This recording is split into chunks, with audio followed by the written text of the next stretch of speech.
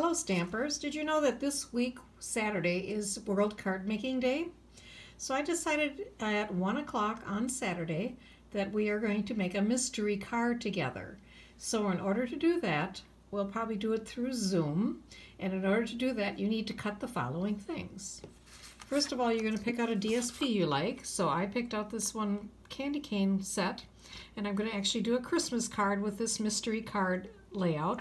So you're going to pick out your DSP and you're going to cut that four inches by three and a half inches.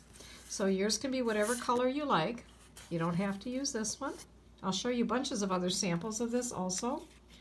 Second of all, you're going to pick out a background paper that matches. So shaded spruce and cherry cobbler on here, so I chose that. So your card is going to be four and a quarter wide by 11 long and then you're going to score it at five and a half inches and that's all you're going to do with it right now.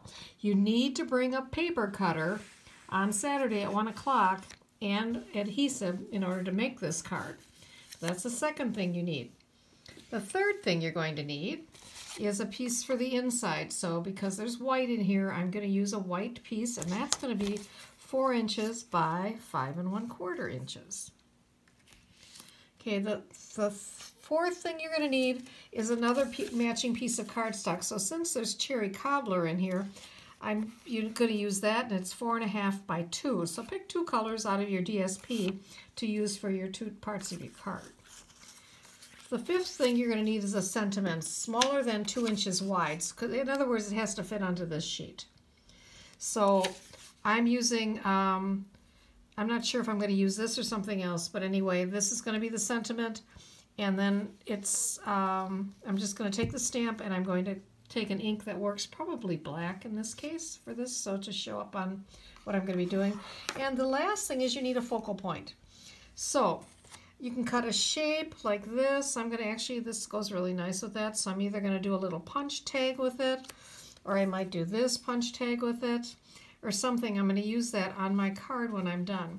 So you need some kind of a shape as a focal point. It can be a circle cut out. It could be your you could be your words in a in a circle. That would be fine too.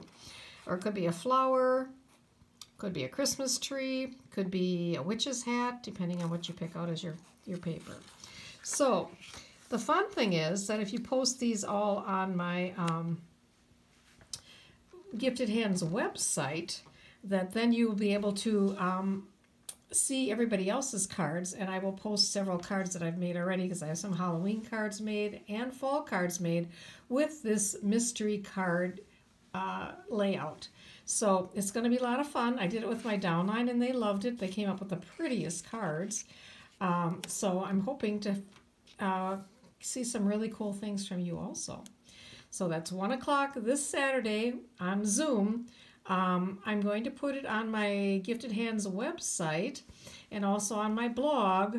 So join me there and I will admit you to my group and we can try it. So take care, stay safe. Pat Ertman saying goodbye for now. Bye bye.